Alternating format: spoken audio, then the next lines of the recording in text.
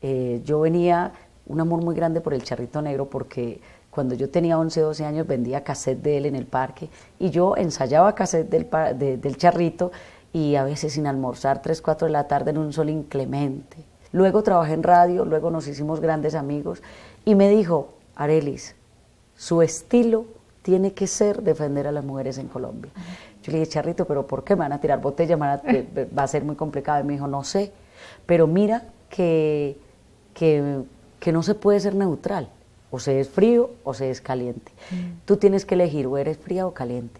¿Con cuál de los dos bandos te vas? Mm. O enamoras a los hombres o defiendes a las mujeres. Y yo le dije, Charrito, siempre he querido defender a las mujeres.